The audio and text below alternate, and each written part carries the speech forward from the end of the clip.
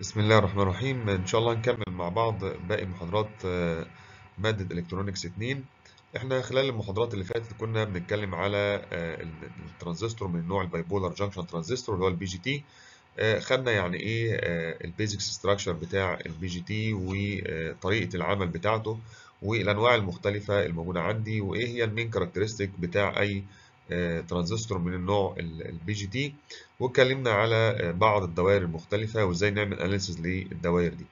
النهارده إن شاء الله في محاضرة النهارده بنتكلم على النقطتين التانيين اللي جايين بعد كده اللي هو بيتكلم على إزاي أعمل amplification للتيار أو الجهد الموجود معايا من خلال الترانزستور بتاعي وأيضا هقدر أستخدمه إزاي ك switch في الدوائر الإلكترونية وخصوصا ال digital electronics أو ال digital circuits اللي إحنا بنتكلم عليه.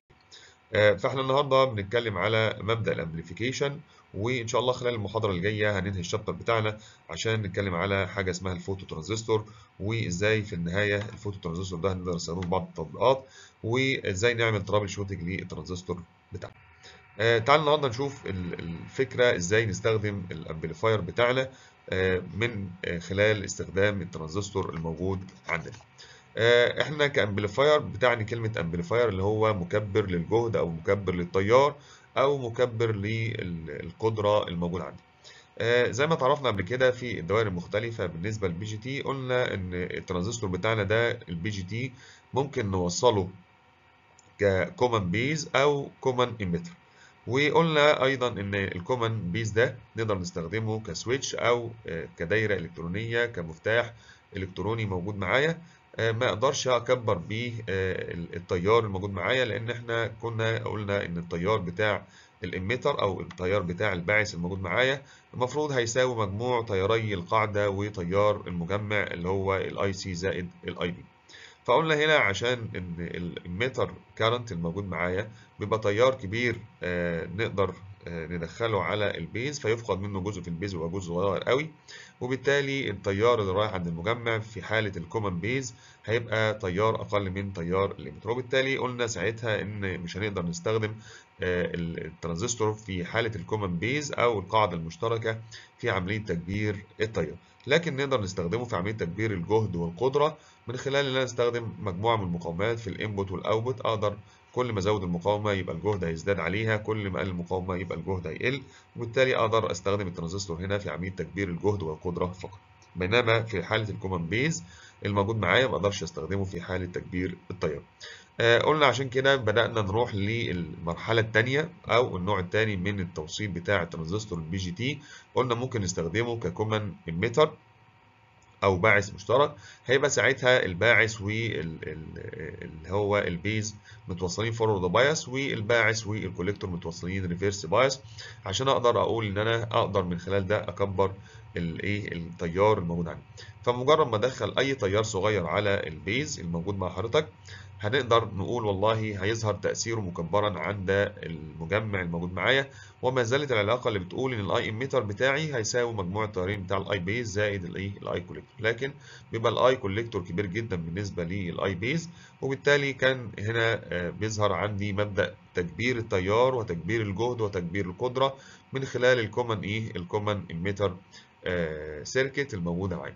فال amplifier النهارده إحنا بنتكلم على عملية التكبير إن أنا هزود ال amplitude الموجود مع حضرتك عشان أقدر أقول والله لو إحنا بنتكلم على آه، مقدار التيار الموجود معايا يبقى أنا محتاج إن أنا هنا في الحالة ديت أزود إيه؟ أزود مقدار التيار ك amplitude. وبالتالي إحنا بنتكلم على أحد أهم الخصائص الم- المستخدمة أو التي يستخدم فيها الترانزستور اللي هو عملية التكبير بتاع الترانزستور. طيب قلنا من هنا إن إحنا لو إحنا بنتكلم على الاي سي الاي سي الموجود مع حضرتك ده التيار اللي هو بتاع المجمع. المجمع الموجود معايا قلنا زي ما قلنا لو إحنا دخلنا تيار صغير قوي على ال base يبقى ده ال IC هو ناتج إدخال تيار صغير على ال- ال base وبالتالي هيبقى في علاقة ما بين الاتنين دولت علاقة هنا آه، يربطهم معامل اسمه معامل التكبير اللي هو ال amplification الموجود معايا اللي هو بيسموه ال current gain اللي هو بيسموه البيتا عندنا. طب البيتا ده عبارة عن إيه بقى؟ البيتا ده هيبقى عبارة عن الخارج والداخل الموجود مع حضرتك. العلاقة ما بين الخارج والداخل يعني البيتا بتساوي ال IC على ال IB اللي إحنا بنتكلم عليه. وبالتالي هنا إحنا لو بنتكلم على ال IC على ال IB يبقى إحنا هنا بنتكلم على معامل تكبير التيار الموجود مع حضرتك عشان نقدر نقول هنا ممكن نستخدم الترانزستور في عملية إيه؟ في عملية تكبير التيار الموجود عندنا. عشان كده إحنا النهارده لازم نشغل الترانزستور في منطقة وإحنا اتكلمنا عليها خلال المحاضرات اللي فاتت اللي هي بيسموها ال active region المنطقة الناشطة اللي هي بيبقى خلاص التيار ثبت عندي وبسميها منطقة خطية. مهما زودت القيمة بتاع الجهد المطبق على الترانزستور خلاص بيبقى هنا وصل لحالة ال saturation أو مرحلة ال active region خلاص ما عادش التيار هيزداد عن كده. واللي فيها بيبقى ال base وال emitter junction بتبقى في low resistance فبيبقى الحالة دي forward bias وبتبقى العلاقة ما بين ال base وال collector junction بتبقى high resistance أكنها reverse إيه reverse bias فده بيسمح إن أنا أقدر أي تأثير أو أي جهد موجود معايا على ال input circuit اللي هي خاصة بال base فيديني أي تيار صغير يقدر يخلي تأثير تيار مجمع كبير جدا. عشان كده إحنا النهارده بنستخدم ال amplifier الموجود معايا من خلال استخدام الترانزستور بتاعنا. بس أهم حاجة النهارده هنفرق ما بين إيه هي الكميات اللي هي المستمرة والكميات المترددة اللي إحنا بنستخدمها مع الترانزستور.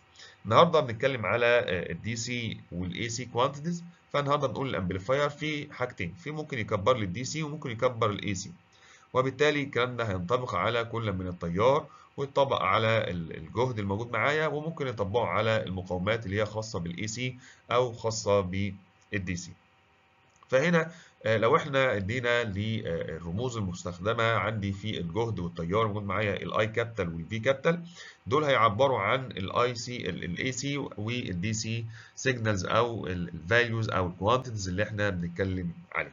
يعني إيه الكلام ده؟ عشان نوضحه. يعني أنا لو قلت لحضرتك I capital يبقى أنا بتكلم سواء على DC أو AC بس اللي هيفرق بقى هفرق ال DC من ال AC إزاي؟ من ال suffix أو اللي هو ال subscript اللي إحنا هنحطه جنب الايه كلمة ال I أو إيه حرف ال V الموجود معايا.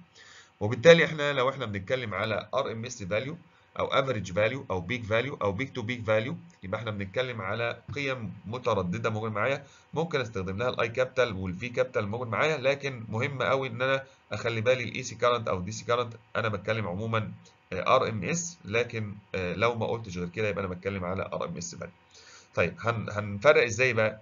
يقول لك إن أنا عايز دلوقتي لو أنا بتكلم على DC أو AC quantities هاخد ال I capital وال V capital بس هنا لو أنا بتكلم مثلا على التيار بتاع ال base current بس هو من نوع ال DC يبقى أنا هديله IB وال B بتاعتي هتبقى capital يبقى أنا كده عرفت إن هو DC طيب لو كتبت Ib بس ال b small ال b small هتبقى تعني ال AC current بتاع ال base في الحالة دي. طب لو أنا بتكلم على ال VCE وكلمة CE اللي هو ال collector وال emitter بس capital زي ما إحنا هنشوف حالا. يبقى ال VCE كله capital يبقى أنا بتكلم على DC current أو DC voltage موجود معايا. طيب لو بتكلم على ال VB capital يبقى ال VB دي capital دي يبقى DC ال Vb small يبقى ال Vb small ده يبقى AC بقصد الايه ال AC supply ال AC current أو ال AC voltage الخاص بالترانزستور بتاعي. طيب عشان كده بنقول هنا إن ال lower case بقى في الحالة دي لو I V والكلام ده كله بنتكلم على instantaneous value يبقى أنا لو بتكلم على I capital و V capital كل ال ال ال الرموز الموجودة معايا capital يبقى بتكلم على RMS إن لم يذكر عكس ذلك. طيب عشان أميز بقى ما بين الايه الاي سي والدي سي الموجود معايا قلنا هنستخدم ال subscript اللي هي بيسموها الحروف السفلية أو التمييز اللي هو تحت زي ما إحنا هنشوف حالا في ال slide اللي جاي. طيب هنا هنفرق إزاي بقى يا عم؟ قال لك والله ال DC quantities هيبقى عبارة عن upper case اللي هو ال I capital وال V capital وال subscript الموجود مع حضرتك برده هيبقى إيه capital موجود معايا زي ال IC وال IB وال IE ده عبارة عن ال collector current وال base current وال IE current تمام؟ اللي هو بتاع ال emitter بس ده بيتكلم على DC ترانزستور إيه؟ DC transistor currents موجود معايا لو كتبنا نفس الرموز الموجودة معاك بس small ال Ic small وال b small وال e small هيبقى ده عبارة عن ال AC ترانزستور إيه؟ current بس من النوع اللي هو المتردد طيب نفس الكلام بالنسبة للجهود. لو قلنا ال VBE وال VCB وال VCE دول عبارة عن الجهد ما بين ال base وال emitter الجهد ما بين ال collector وال base الجهد ما بين ال collector وال emitter. ده برضو بيعبر عن القيم اللي هي ال DC بس بالنسبة للفولت من one terminal أو من طرف إلى طرف آخر في الترانزستور الموجود عندنا. طيب لو إحنا قلنا ال V بس أو ال VC بس أو ال VE بس دول عبارة عن ال DC voltage اللي هي يعبر عن قيمة ال base voltage ما بينه وما بين الارضي ما بينه وبين ال ground اللي إحنا بنتكلم عليه. ال VC هيبقى هو عبارة عن جهد ال collector أو جهد المجمع ونقطة ما بين ال collector وما بين ال ground ال VE هو العلاقة ما بين جهد الباعث وال ground الموجود عند حضرتك كده الرموز زي ما حضرتك شايف كلها أصبحت كلها capital سواء كان الحرف نفسه أو الرمز نفسه اللي هو ال I أو ال V وال subscript الموجود معايا كله capital يبقى إحنا هنا بنتكلم على ال DC quantities أو اللي هي الكميات المستمرة اللي إحنا بنشتغل عليها. أمال بقى لو رحنا لل AC الموجودة معايا هيبقى الوضع عامل إزاي؟ هتلاحظ هنا في ال AC quantities هيستخدم بقى هنا ال subscript هيبقى lower case يبقى هنا أنا بستخدم على ال subscript الموجود معايا lower case يعني حرف سمول موجود عندي. زي إيه؟ زي ما حضرتك شايف كده بيتكلم على ال IC وال IB الموجود معايا وال IE. يبقى هنا طبعا بس هنا ال I capital ال E دي small هي كمان يبقى ال C small وال B small وال E small الموجوده معايا يبقى ديت عبارة عن اي سمول. طيب ده عبارة عن ال AC current ال AC current الموجودة مع حضرتك اللي إحنا بنتكلم عليها دي غلطة بس في الكتابة أنا آسف. AC transistor currents وال VBE بقى برضه نفس الكلام وال VCB وال VCE وكل ده هيبقى عبارة عن AC voltage موجودة مع حضرتك يبقى أنا بتكلم على كل الحاجات اللي هي subscript موجودة معايا هتبقى small يبقى أنا بتكلم على lower case subscript ده يعبر عن الكميات الفيزيائية أو الكميات اللي هي اللي إحنا بنقيسها من خلال إيه؟ من خلال ال AC بالنسبة لي. يبقى أنا هنا الاتفاق اللي إحنا هنشتغل عليه خلال الفترة اللي جاية كله إحنا بنتكلم على subscript من من إيه؟ من الرمز اللي هو السمول الموجود معانا. طيب تعالى بقى نقول إحنا هنا هنشتغل إزاي في الفترة اللي جاية الفترة اللي جاية هنقسم التمييز ما بين المقاومات المختلفة بتاعة الترانزستور. لو أنا بتكلم على internal transistor resistance يبقى أنا بتكلم على مقاومة داخلية الترانزستور يبقى أنا هرمز لها برمز R dash small ال R small موجود عندي.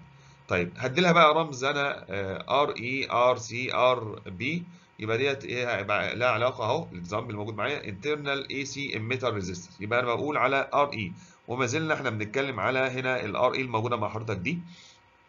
أهي هتلاقي إن ال E هنا small ال E هنا في الرمز ده small يبقى أنا بتكلم كده على AC يبقى أنا كده بشتغل على AC resistance موجودة معايا.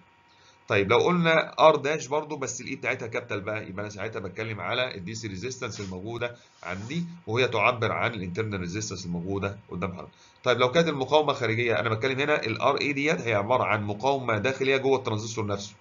يبقى ال RE اللي إحنا بنتكلم عليها اللي هي سمول دي هتبقى إحنا بنعبر عنها اللي هي عبارة عن المقاومة الداخلية جوه الترانزستور نفسه. لكن لو أنا دلوقتي بعبر عن مقاومة خارجية متوصلة على ال emitter أو متوصلة على ال base أو متوصلة على ال collector الموجود مع حضرتك هتلاقي إن أنا يعني مثال كده لو رسمنا الترانزستور الموجود مع حضرتك هنا لو أنا بتكلم على الترانزستور أهو أنا الترانزستور لو بتكلم على NPN transistor موجود معايا أدي ال emitter اللي إحنا بنتكلم عليه لو جيت وصلت مقاومة هنا كده المقاومة اللي إحنا وصلناها تحت دي كده دي هسميها إيه بقى؟ هل هسميها RE dash؟ لا هسميها R capital وتبقى الايه؟ ال E الموجودة معايا. يبقى أنا هنا بتكلم على ال RE الموجودة مع حضرتك دي هي مقاومة خارجية موجودة عندنا عشان نقدر نقول دي مقاومة خارجية متوصلة تفرق كتير قوي عن المقاومة الداخلية اللي هي بتاع الترانزستور اللي إحنا بنتكلم عليها RE small dash ديت عبارة عن مقاومة AC. طيب لو أنا بتكلم على مقاومة R capital حتى لو E small يبقى دي مقاومة AC متوصلة على دايرة AC أو AC circuit موجودة عندنا. طيب من هنا نقدر نقول لحضرتك إن أنا ال circuit resistance أهو بتاع ال external هيضاف إليها ال RE small الموجود معايا بنسموها external DC emitter resistance اللي ال RE capital وال RE small هتبقى عبارة عن external AC emitter E resistance لما نحتاج نحلل الدوائر المختلفة هتقدر تلاقي الرموز الموجوده معاك ديت تعبر عن المقاومة الداخلية الموجودة عندنا اللي هي تعبر عن DC لكن المقاومة الموجودة عندي RE capital دي هتبقى عبارة عن المقاومة اللي هي الخاصة الخارجية الموجودة معايا متوصلة ك DC طيب من ده نقدر نقول إيه؟ نقول لحضرتك هنا إن إحنا ال amplifier الموجود معايا. إمتى بقى يحصل voltage amplification للكلام ده؟ وده محتاج إن أنا اقف مع حضرتك فيه شوية عشان نقدر نقول لحضرتك الدايرة دي هتشتغل إزاي. إزاي أقدر احصل على عملية التكبير في الجهد الموجود عندنا. طيب الترانزستور اللي حضرتك شايفه زي ما انت شايف كده في عندي دايرة إلكترونية هي فيها ترانزستور. الترانزستور ده زي ما حضرتك شايف كده هتلاقي ال emitter بتاعه متوصل هو ال ground أو الباعث المشترك اللي هو بيسموه ال common emitter عشان أقدر أطبق القاعدة أو القانون اللي بيقول إن ال IC هو عبارة عن ال beta IB ال beta اللي هو معامل تكبير الترانزستور الموجود معايا في تيار الايه ال base الموجود معايا. بدانا هنا نحط شوية مجموعة من المكونات. هنتكلم على اليمين كده. الدايرة الموجودة مع حضرتك ديت فيها عبارة عن ال VCC اللي إحنا اتكلمنا عليه قبل كده وهو عبارة عن جهد. هتلاقي الموجب متوصل بسالب ال N بتاع ال collector. يبقى هنا كده الدايرة بتاع ال collector مع ال emitter متوصلة reverse bias بيحط هنا مقاومة اسمها ال RC عشان ياخد عليها الخارج اللي هي ال RC أو ال collector resistance الموجودة معايا R C capital يبقى دي كلها مقاومات DC عرفنا منين إنها DC ال R بتاعتها capital يبقى ديت عبارة عن مقاومة خارجية وال C بتاعتها capital يبقى ديت DC resistance موجودة معايا متوصلة ما بين ال ال ال البطارية بتاع حضرتك وال collector أنا الترانزستور اللي هو موجود من نوع NPN عرفت منين إن هو NPN لقينا إن السهم بتاعه بره يبقى التيار طالع من ال positive إلى ال negative بهذا الشكل يبقى السهم بتاعي من ال P إلى ال N يبقى أنا كده عرفت إن هو ترانزستور من نوع ال NPN الموجود عندنا. طيب من هنا برضو نقدر نقول لحضرتك آه بدأنا نوصل مقاومة اسمها RB أهي. المقاومة RB الموجودة مع حضرتك دي كده لو إحنا آه ركزنا شوية ادي المقاومة RB برضه مقاومة متوصلة على آه ال base terminal أو الطرف بتاع ال base عشان برضه نقدر ناخد عليها الجهد اللي هو ال VBE بعد شوية. طيب بدأنا نوصل المقاومة RB مع البطارية اللي هي ال DC supply اللي هو ال VBB اللي إحنا سميناه قبل كده. ولو حضرتك هتلاحظ هتلاقي الترانزستور بتاعي من نوع NPN يبقى ال emitter عبارة عن N هتلاقي متوصل مع السالب. وال positive بتاع ال base متوصل مع ال positive بتاع ال base. يبقى أنا بتكلم على forward bias بالنسبة لل emitter وال base الموجودة عندنا. طيب من هنا نقدر نقول لحضرتك إيه بقى؟ لا ده إحنا زودنا حاجات كمان عايزين بقى نكبر جهد supply هنعمل إيه؟ هنجيب سي DC supply موجود مع حضرتك أهو اللي هو ال VBB وهنوصل معاه كمان الناحية الثانية كده اللي هو ال AC supply اللي إحنا بنسميه VS أهو. ده ال VS الموجود معايا. طيب لاحظنا حاجة كمان آه ده ده مصدر تيار متردد موجود مع حضرتك هنوصله عشان نشوف يا ترى الجهد ده هيتكبر ولا هيبقى ظروفه إيه. وكمان نثبت هنا عملية ال inversion أو عملية العكس بتاع الجهد. يا ترى لما أدخل جهد موجب هيطلع لي سالب ولا يطلع موجب؟ النهارده بنعمل inverting amplifier من خلال الترانزستور الموجود عندي. طيب هلاحظ هنا إن حضرتك مستخدم فيه عندي هنا في الدايرة الموجودة مع حضرتك دي هتلاقي فيه مكثف كمان. المكثف ده فايدته إيه بقى؟ المكثف ده بيعمل آه مجموعة أو آه حاجتين اتنين بنشتغل عليهم اللي هو المكثف الموجود قدام حضرتك ده. هتلاقيه إحنا هنا بنستخدمه لسببين. السبب الأولاني إن أنا أعمل بيه آه مع ال supply الموجود مع حضرتك بتكلم عن المكثف ده كده المكثف ده اللي هو فايدته إن هو بعمل blocking ليه أي DC supply موجود معايا أو أي DC signal موجودة معايا في ال AC وأقدر أمرر ال AC سي زي ما حضرتك عارف إن إن المكثف بيمرر الجهد المتردد ويمنع مرور التيار المستمر الموجود عندنا. طيب آه القصة دي بقى هنحلها إزاي ونستخدمها في إيه؟ آه قلنا إن أنا هنا دلوقتي عايز آه أطلع ال AC supply الموجود معايا أكبره وأعمل له كمان عملية العكس اللي إحنا بنتكلم عليه. طيب في فايدة ثانية المكثف دي؟ قال لك آه. قال لك دلوقتي لو أنا عندي ال supply دهوت هتلاقي ال supply اللي هو ال VCC ده هتلاقيه متوصل عبر مقاومه RC هنا مع ال collector مع ال base فهنا ممكن هنا يدخل على التيار الموجود مع حضرتك بتاع ال supply اللي هو ال اي ال DC ده ممكن يأثر على ال AC supply. لا أنا مش عايز تأثير يظهر تأثيرهم على بعض. لا ال VCC اثر على ال VS ولا ال VS يأثر على ال supply. فهنا حطينا المكثف ده بيسموه coupling capacitor أو مكثف ربط أو مكثف إن هو يمرر ال AC ويمنع مرور ال DC وبالتالي بيحمي التداخلات ما بين كل من ال DC supply وال AC supply الموجود عندنا. هنا بقى هناخد شوية معلومات صغيرة عشان نقدر نفهم يعني إيه عملية تكبير للتيار تكبير التيار إن إحنا مجرد هنا أنا ركبت إيه بقى اللي حصل؟ اللي حصل في الدايرة الموجوده قدام حضرتك دي إن أنا عندي supply موجود مع حضرتك أهو. ال supply الموجود مع حضرتك هنا ده له ميزتين هنا. الميزتين الموجود قدام حضرتك هنا إن أنا بتكلم على ال supply اللي إحنا بنتكلم عليه AC اللي هو ده ده كده. ده فايدته إن إحنا فايدته إن إحنا بنقدر نشغل ال AC وأكننا بنشفته على DC عشان كده هتلاحظ إن ال signal المرسومة قدام حضرتك هنا فوق كده إيه اللي حصل لها دلوقتي ال signal دي؟ هتلاحظ هنا ال signal الموجوده مع حضرتك هنا كده في الشكل ده ده كده.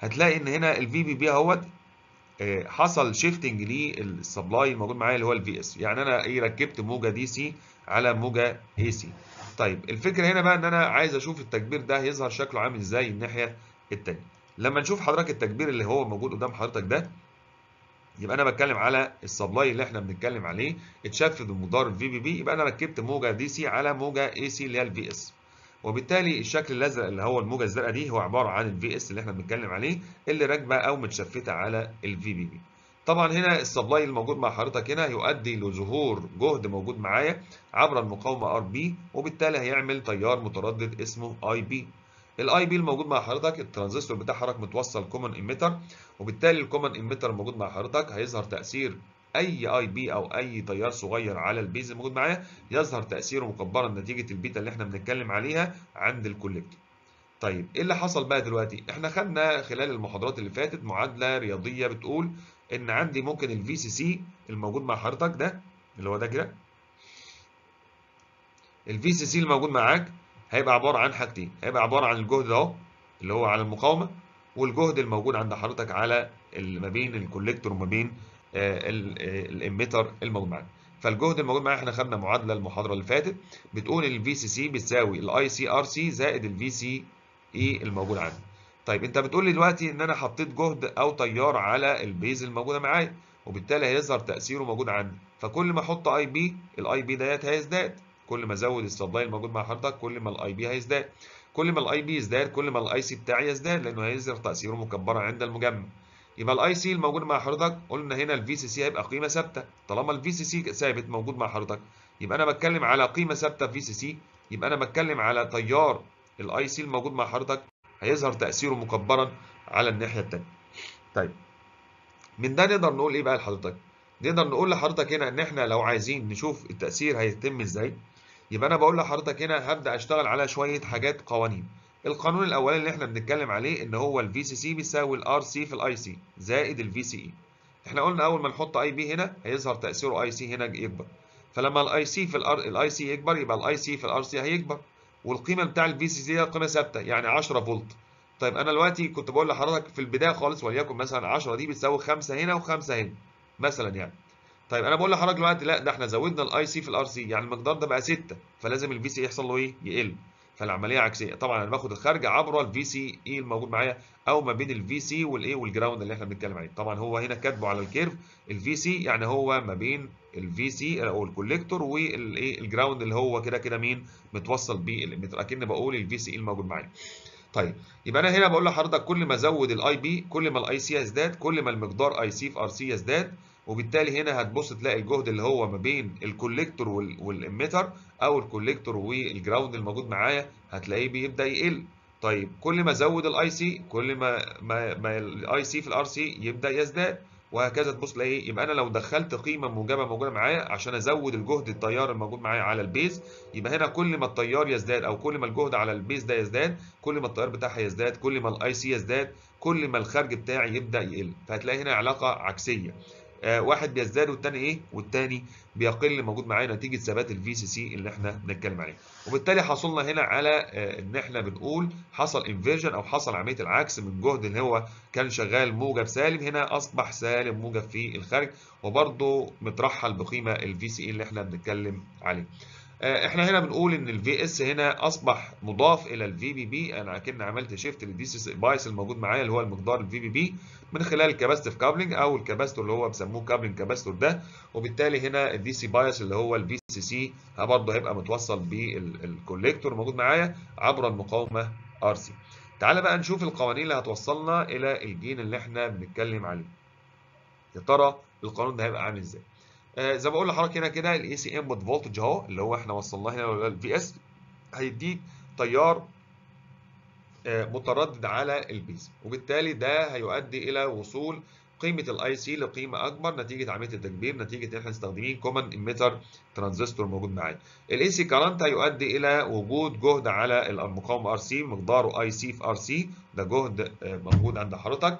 وإحنا بنقول هنا إن هو جهد مكبر وعملية أصبح هو inverted موجود معايا معكوس لأن هنا كل ما ازود الجهد الموجود مع حضرتك على ال base يزود ال IB فال IB يزود الاي سي والاي سي أبص ألاقي الجهد على ال collector الموجود مع حضرتك أصبح برضه جهد مكبر يظهر تأثيره مكبرا ولكن في عكس الإيه؟ في عكس الاتجاه والترانزستور في الوقت ده بيشتغل في ال active phase طيب من هنا بقى نقدر نقول لحضرتك بقى من خلال القيمة دي نقدر نطلع القوانين اللي إحنا بنتكلم عليها. هنطلع قوانين إزاي؟ ان إحنا بنقول ال forward bias أصبح دلوقتي هنا في forward bias في ما بين ال base وال emitter وبالتالي ال AC signal دلوقتي هتمر كلها وبالتالي يظهر تأثيرها في مقاومة داخلية صغيرة re small تمام؟ re small و re dash ديت موجود معايا. طيب هنا المقاومة الموجوده مع حضرتك في الداخل هي RB ال RB capital طب إحنا عايزين نطلع بقى شوية العلاقات عشان نجيب الكلام ده. بنتكلم على ال AC base voltage ال AC base voltage اللي هو ال Vb small ده. ال Vb small الموجود مع حضرتك هنا هنقدر نقول فين؟ القيمة الموجودة معايا أهي اللي إحنا بنتكلم عليها هنا كده. لو إحنا بنتكلم على النقطة دي اللي أنا مشاور عليها دي كده يبقى دي عبارة عن ال base value اللي إحنا بنتكلم عليه. إحنا عايزين نحسب قيمتها بقى نحسب قيمتها إزاي؟ يقول لك أنا لما أحسب قيمة ال base value الموجودة مع حضرتك دي هتلاقي من القانون الموجود مع حضرتك إن ال Vb بتساوي ال Ie في ال re فين يا عم؟ ده في مقاومة داخلية هنا كده. هنا كده على الترانزستور هنا كده. المقاومة الداخلية ديت بيسموها اي اللي هي ال RE small ال RE small ديت عبارة عن مقاومة AC أو internal AC resistance موجودة معايا وعندي تيار اسمه ال IE فهنا أكن أنا عايز أجيب جهد النقطة دي كده. الجهد النقطة الموجودة مع حضرتك دي هي عبارة عن الجهد النقطة دي لغاية مين؟ لغاية الايه ال ground الموجود معايا. يعني أكني بجيب الجهد بتاع ال emitter الموجود معايا. يعني إيه جهد ال emitter؟ ما أنا عندي بفترض إن في مقاومة داخلية للتركيب الداخلي بتاع الترانزستور اسمها RE small dash وعندي تيار اسمه IE small ده برضه AC current موجود مع حضرتك. يبقى ال VB بتاعي عبارة عن ال IE في ال RE dash موجودة معايا. طيب آه نقدر نطلع علاقة ثانية آه نقدر نطلع علاقة ثانية منين يا عم؟ يقول لك والله لو أنا هشتغل على القصة دي كده يبقى أنا عايز ال IC current الموجود معايا يبقى ال collector current أو ال collector voltage الموجود معايا أقدر أستخدمه إن أنا أقول ال VC بيساوي IC RC طيب من ده نقدر نقول والله طب ما الاي سي بيساوي الاي اي خلي بالك أنا كله هنا سمول يبقى أنا كده بتكلم على جهد متردد أو تيار متردد أو مقاومة خارجية مترددة موجود معايا. عشان يبقى كله الإيه الكلام واضح إن إحنا شغالين تيار متردد. ما انت بتقول لي الاي سي تقريبا بيساوي الاي اي جت منين العلاقة ديت إن ال base current الموجود معايا بيبقى صغير قوي عشان كده نقدر نحصل على علاقة بتقول إن الاي سي تقريبا بيساوي الاي اي الاي اي وبالتالي لما أطلع لدي كده أنا اشيل بس ال IC من المعادلة ديت واحط مكانها IE أو تشيل مكانها المعادلة اللي فوق دي تقول إن الاي اي بيساوي الاي سي هي هي. تمام؟ يبقى ال VC دلوقتي طلعته IE في مين؟ في RC ده هيوصلنا لمرحلة إن إحنا نطلع بقى إيه ال amplification gain اللي إحنا بنتكلم عليه أو ال voltage amplification gain اللي إحنا عايزين نوصل. من المعادلات اللي فاتت إحنا جبنا ال VB دلوقتي وجبنا ال VC طيب أنت مش أنت بتقول دلوقتي آه ال gain الموجود معايا أو ال voltage gain هو عبارة عن جهد الخارج على جهد الدخل هو مين جهد الدخل جهد الدخل هو ال VB وجهد الخارج هو ال VC يبقى أنا لو طلعت من الكلام ده كله أقدر أقول لحضرتك إن ال VB برضه له علاقة ثانية بيساوي ال VS ناقص ال IB في ال RB إيه بقى القصة دي؟ أنا عندي هنا آه ما هو أنت لو وقفت عند النقطة دي كده لو إحنا بنتكلم على النقطة ديت بتاع ال base اللي هي دي كده هنا بتساوي مين بقى؟ خد كده المسار دوت لغاية ما توصل للأرض موجود معايا. هو عبارة عن ال VS اللي إحنا بنتكلم عليه ناقص ال IB في الايه في ال RB يبقى إحنا بنتكلم على المسار المغلق الموجود مع حضرتك عشان أجيب الجهد دوت. ال VB ممكن أعبر عنه بدلالة ال VS ناقص ال IB في الايه في ال RB وبالتالي ال VC إحنا قلنا هو ال output voltage لو أنت عايز تجيب ال gain بقى عام اللي هو ال AV هنسميه AV اللي هو ال voltage gain اللي هو ال amplification gain اللي هو ال AV small ديت هو عبارة عن النسبة ما بين ال VC وما بين الايه وما بين ال VB الموجود معايا. كتبنا قانون ال VB وكتبنا قانون ال VC حطيناهم على بعض قسمناهم مع مراعاة إن الاي سي بيساوي الاي اي نتيجة صغر تيار مين؟ تيار ال I base الموجود معايا. وبالتالي هنا نقدر نقول لحضرتك إن إحنا لو حبينا بقى نكتب العلاقة بتاع ال gain أهي ال gain الموجود معايا ال AV بيساوي ال VC على ال VB هيطلع في الآخر هنا هو عبارة عن العلاقة أو النسبة ما بين مقاومة ال RC على مقاومة الايه ال RE dash بتاع ال emitter الموجود عندي ودي العلاقة اللي إحنا نقدر نستخدمها في كل حساباتنا عشان نحسب ال gain بتاع الترانزستور الموجود عند حضرتك ك voltage gain موجود عندنا طيب آه، يبقى أنا بقول لحضرتك هنا إن إحنا عايزين نوصل إلى مرحلة ال amplification لو إحنا خدنا كده آه، أخيرا نقول لحضرتك تاني إن إحنا الترانزستور هنا عمل amplification باستخدام voltage gain وهو علاقة ما بين ال RC الموجودة معايا وال RE dash الموجودة قدام حضرتك. طيب يبقى أنا هنا ال gain أو ال voltage gain بيعتمد على قيمتين اتنين المقاومة الخارجية الموجودة مع حضرتك هنا في النهاية وعندي المقاومة الداخلية بتاع الايه ال emitter اللي إحنا بنتكلم عليها عندي وبالتالي ال RC الموجودة مع حضرتك بتبقى كبيرة جدا من ال RE يعني المقاومه الداخليه بتبقى تكاد تكون مهملة. وبالتالي أنا عايز أروح لل RC الموجود مع حضرتك. هتلاقيها كبيرة جدا. وبالتالي إحنا بنقول هنا إن ال voltage gain أو ال output voltage بتاعي بيبقى متكبر كتير جدا أكبر من ال input الموجود عند حضرتك. عشان كده أنت لو بدأنا نقول إن إحنا لو حبينا نشوف المقاومة الداخلية بتاع ال emitter اللي هي ال AC resistance أو ال internal resistance بتاع ال emitter هنلاقيها صغيرة مقارنة بال RC وبالتالي هنا نقدر نستخدم الترانزستور بتاع حضرتك إن أنا لو جبت العلاقة ال RC على ال RE طبعا هنا العلاقة بنقول إن هي تقريبا بتساوي عشان خاطر إن الترانزستور الموجود مع حضرتك ال IB تقريبا بيبقى صغير وإحنا من إيه بيكاد يكون إيه مهمل موجود عندنا. طيب من هنا نقدر نقول لحضرتك هنا إن إحنا لو حبينا بقى ندي لحضرتك مثال عشان نشوف حاجة زي كده إزاي نعوض في القوانين الموجودة عندنا. تعال نشوف. مديني هنا ترانزستور بيقول لي determine ال voltage gain على ال AC output voltage في ال figure لما يكون ال RE dash الموجودة معايا 50. تعال نشوف ال figure كده معطياته إيه. طبعا هنا لو بصينا على ال figure هنلاقي إن هو مديني بعض المعطيات طبعا ما جابش سيرة ال VS بكام ال VBB بكام لكن حط لي هنا إنه قول لي ال VB الموجود مع حضرتك بيساوي 100 ملي فولت 100 ملي فولت إحنا عايزين نشوف التكبير الناحية الثانية بكام. يعني ممكن أقول لك هات لي ال VC بكام أو ال V out بكام اللي هو اللي قدام حضرتك ده اللي هو الجهد ما بين اللي على ال collector لغاية الإيه؟ لغاية ال ground أو ما بين ال collector وال emitter الموجود معايا من من الرسمة أو من المعطى الموجود معاك هتلاقي المقاومة RC الموجوده مع حضرتك هي عبارة عن 1 كيلو أوم يعني 1000 أوم. طيب لو إحنا جبنا ال gain بقى ما هو ال gain الموجود مع حضرتك ده بيساوي مين؟ بيساوي 1000 أوم موجود مع حضرتك أهوت على المقاومة اللي هي ال 50 اوم وإحنا قلنا ال RC على ال RE internal resistance بتاع ال emitter الموجود معايا اللي هي ال RE dash اللي قدام حضرتك دي يبقى إحنا لو قلنا 1000 على 50 يديني المفروض ال gain بتاعي هيكبر جهد المقدار كام؟ بمقدار 20 آه كقيمة.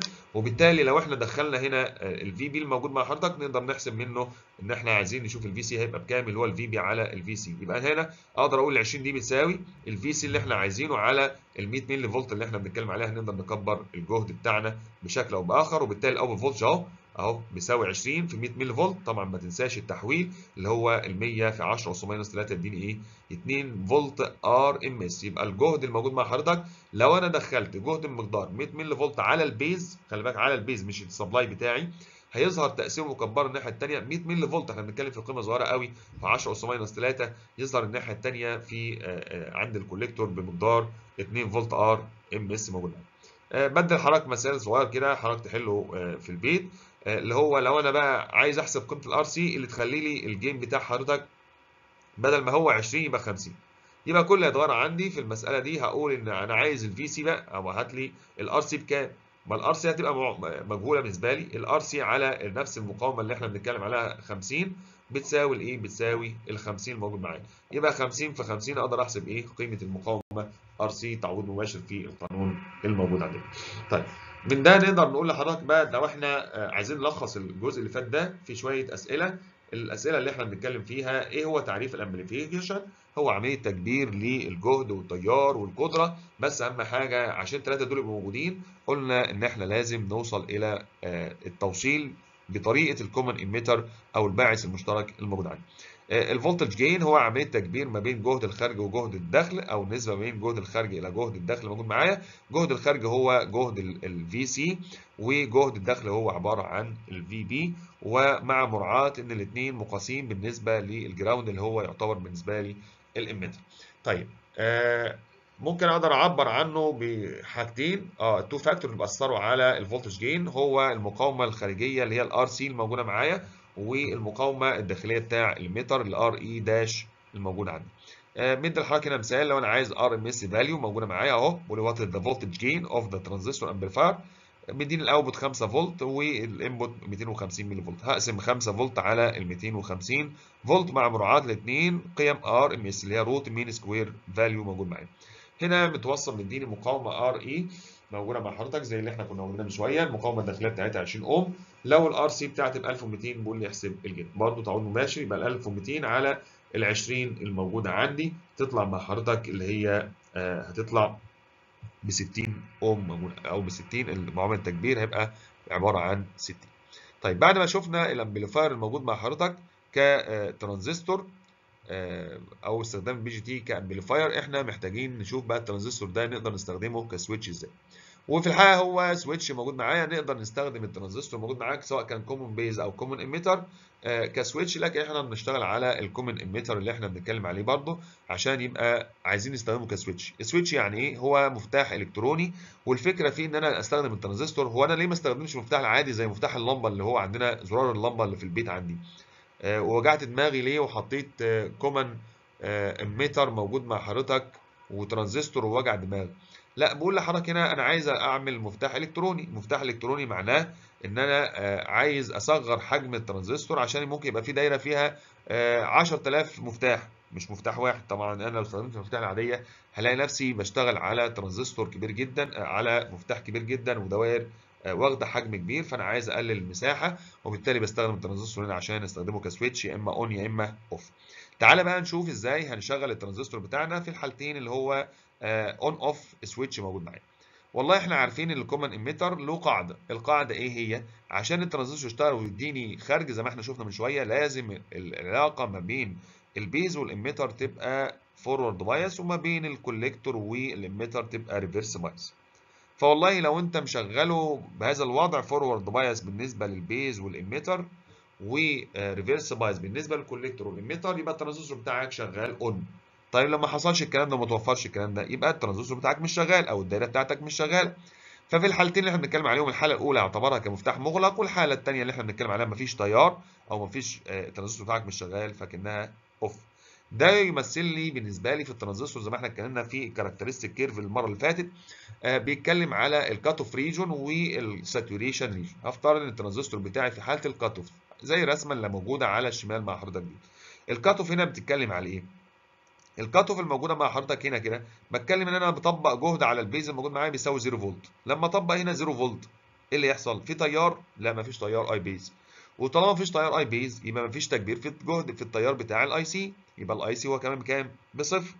طيب طالما مفيش IC موجود معاه يبقى الترانزستور بتاع حضرتك ده مش شغال. يعني يعتبر open circuit أو في ال cut off region الموجود معايا فده يقدر نمثل الكلام ده على الخارج الموجود معايا ما بين ال collector وال emitter الترانزستور مش شغال وبالتالي يعتبر open switch طيب لو أنا نحط بقى جهد تيار أو جهد هنا على ال VB اللي هو ال VBB الموجود معايا.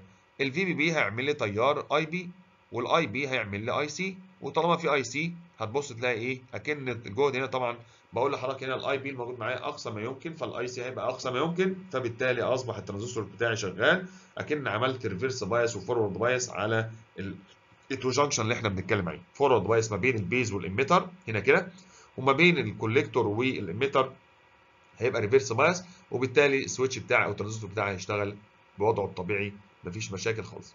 طيب من هنا نقدر نقول لحضرتك بقى لو إحنا بنتكلم على ك electronic switch ال BJT ممكن نستخدمه في حالة ال cut off وحالة الايه ال saturation. ال cut off هتبقى خاصة بال off وال saturation هتبقى خاصة بال on وبالتالي هنا يعمل الترانزستور بتاعي ك switch موجود عند حضرتك.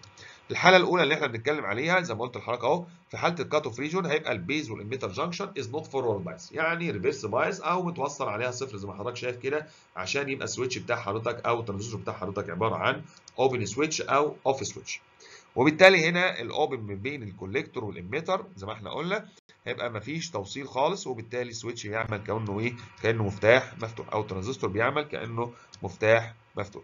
الحالة الثانية لو وصلنا بقى VBB هنوصل لل saturation region أو مرحلة الثبات أو مرحلة التعادل اللي هو بيبقى فيها ال base وال emitter junction بيبقى forward bias وكذلك برضو لو بصينا على ال base وال collector هتلاقيهم برضو forward bias لكن ال emitter وال collector موجود معايا ما زلنا reverse bias وبالتالي بوصل لمرحلة ال saturation. عشان كده ال switch بيعمل إن هو أكنه ك short short circuit ما بين ال collector وال emitter وبالتالي يكافئ مفتاح مغلق موجود معايا.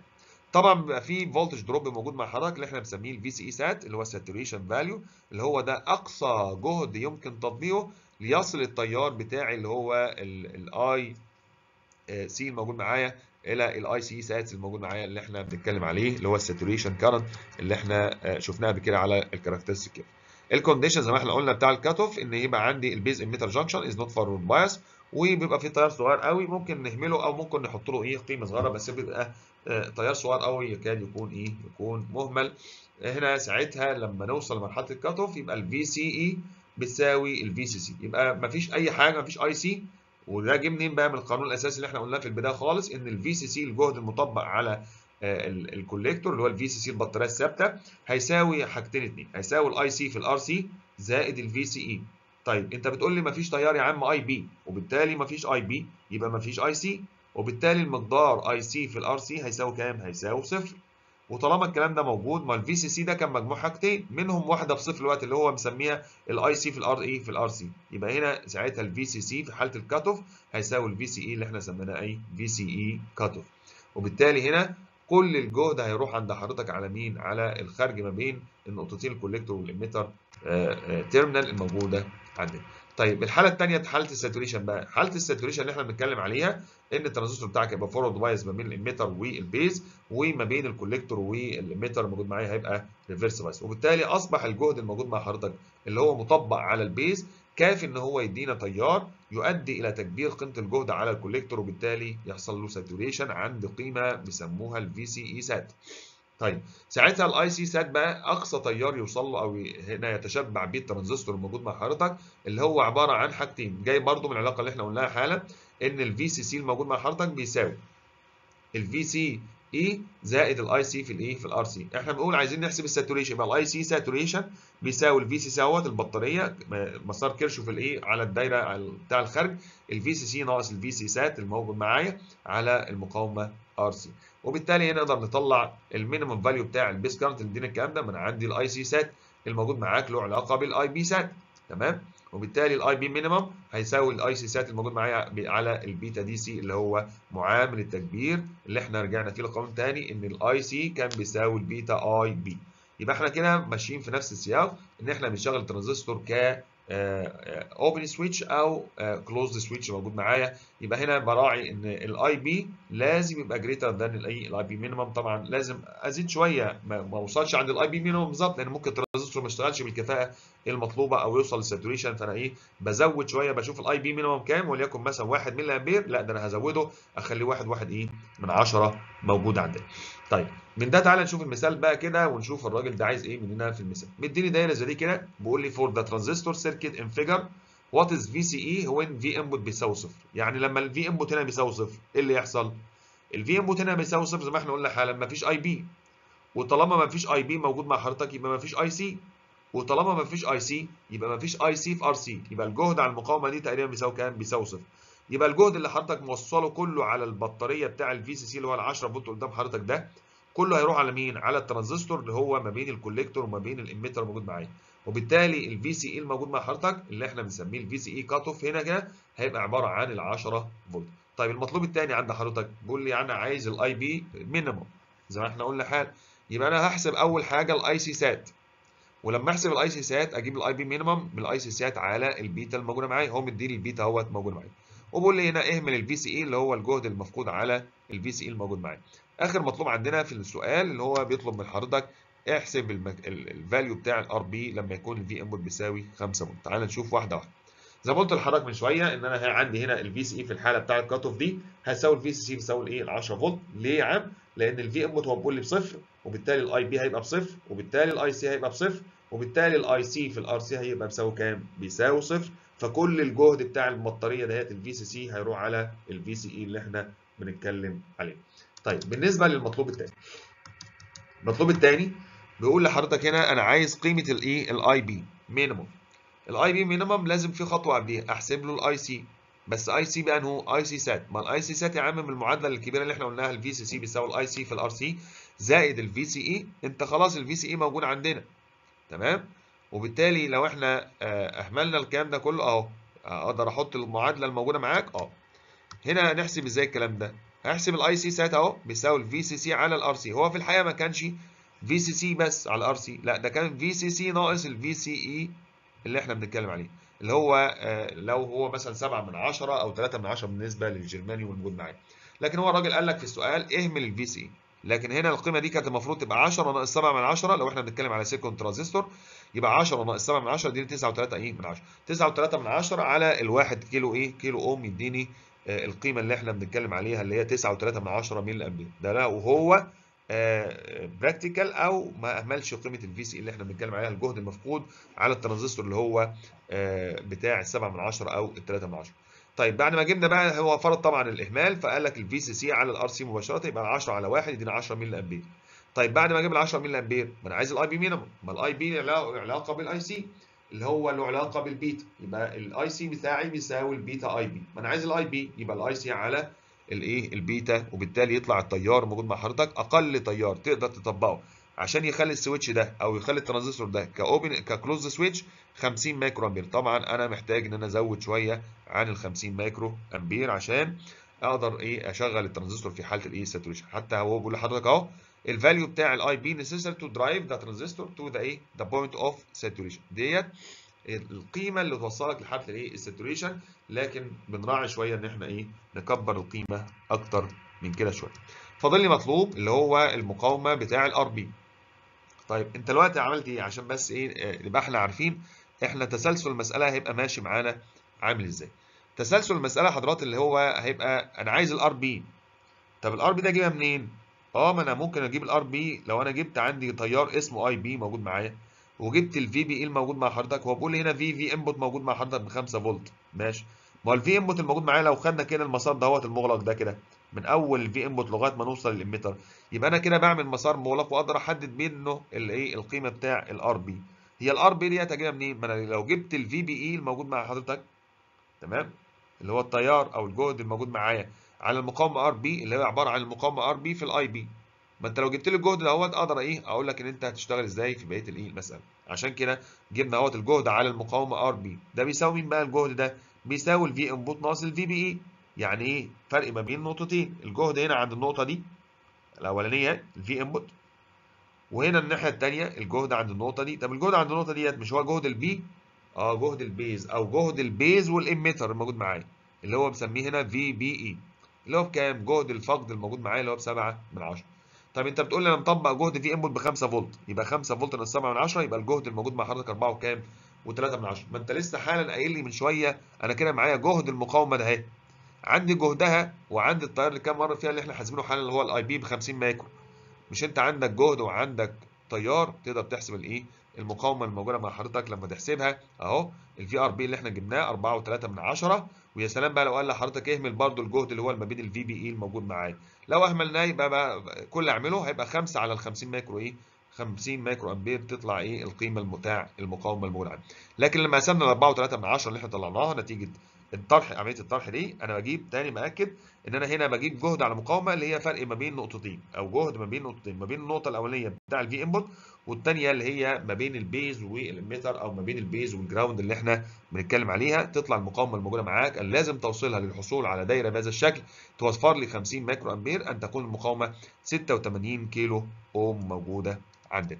آه المثال ده برضو هو هتحله حضرتك في البيت نفس الأرقام determine ال minimum value بتاع ال IB عشان يحصل saturation transistor. لو أنا عندي البيتا بدل ما كانت 200 حالا أصبحت 100 إيه 125 ومديني هنا ال saturation value بتاعي بيساوي 2 إيه 2 من 10 دخل الحسابات الموجودة معايا لنفس الدايرة مع مراعاة إن ال VCC في 10 فولت والمقاومه RC بكام؟ ب 1 كيلو.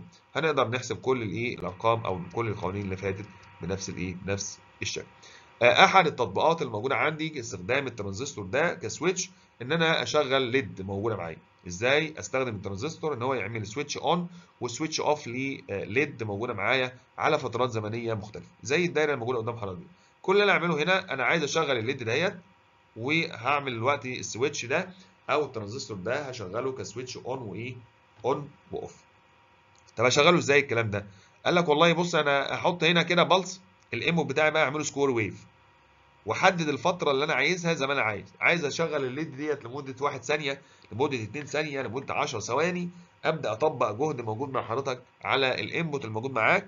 ولما أطبق الجهد هنا يبقى أنا كده عملت إيه؟ forward bias ما بين ال base وال emitter.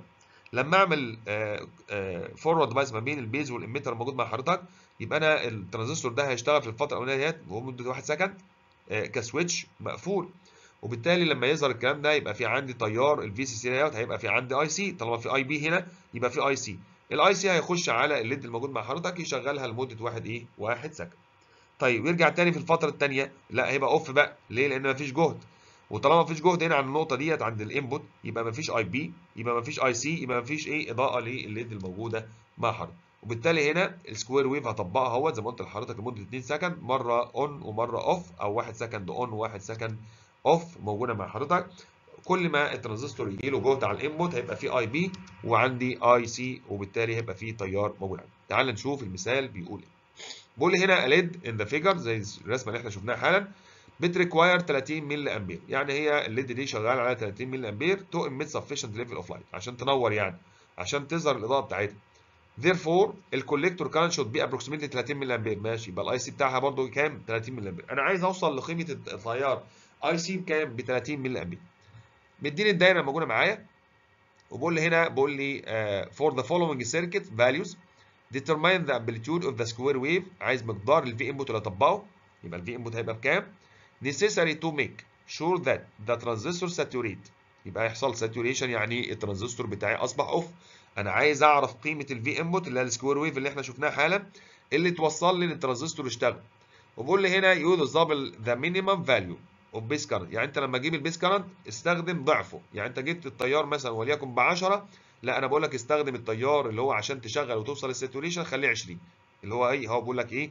use double the minimum value of the base current as safety margin عشان تتأكد إن الترانزستور هيحصل له إيه؟ يحصل له saturation وإحنا قلنا ده مش هنست... في المثال اللي فات كنا قايلين 50 micro ampere إحنا مش هينفع نستخدم 50 بس ممكن نستخدمه 60 ممكن نستخدمه 55 ممكن نستخدمه 70 كل ما تزود طبعا وتبقى في الأمان كل ما كان إيه؟ كل ما كان أفضل بالنسبة لحضرتك. ومديك هنا شوية معلومات اهوت ال VCC وال VCE sat وال RC وال RB وال R وال beta DC وكل الايه وال V LED بكام؟ حتى ال voltage drop على ال LED بقى. اشمعنى عامل voltage drop على ال LED؟ عشان لما أجي اعمل المسار المغلق بدل ما كنت بقول ال VCC بيساوي ال IC في ال RC زائد ال VCE لا ده خلي بالك بقى أنا كمان هطرح منه كمان إيه الجهد الموجود مع حضرتك اللي هو على ال LED الموجود معايا. فلما اعمل المسار المغلق ده يبقى ال VC دوت هيتوزع ما بين ال IC في ال RC ويتوزع على ال LED ويتوزع على مين؟ على ال command اللي هو ال collector وال emitter الموجود عندي زي ما إحنا هنشوف بعد شوية. بدأ يحسب ال IC saturation أهو.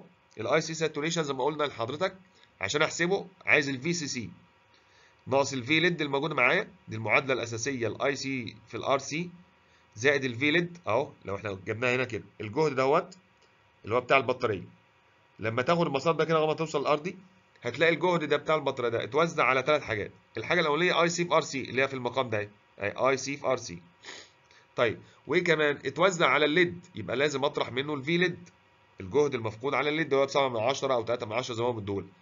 ال VCE sat آه ال VCE اللي هو في حالة ال saturation بقى. لو أنا في حالة ال saturation يبقى أنا برضه في جهد هيفقد ما بين الايه الجنكشن بتاع البيز بتاع الكوليكتور والاميتر يبقى من هنا هطلع التيار الموجود معايا. 9 فولت هو مديني كل الأرقام.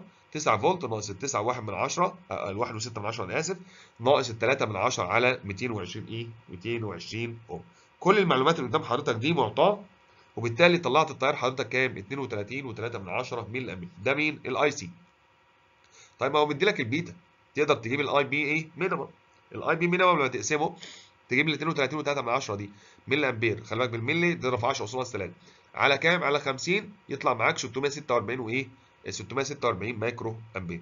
طيب ال 646 مايكرو أمبير دول دول أقل قيمة من ال base current مش هي اللي هتستخدمها. ده هو الراجل قال لك إيه؟ استخدم ضعفها. لما تضرب ال 6 6 6 4 6 مايكرو أمبير دي في 2 يطلع معاك 1.29 من 100 ملي أمبير.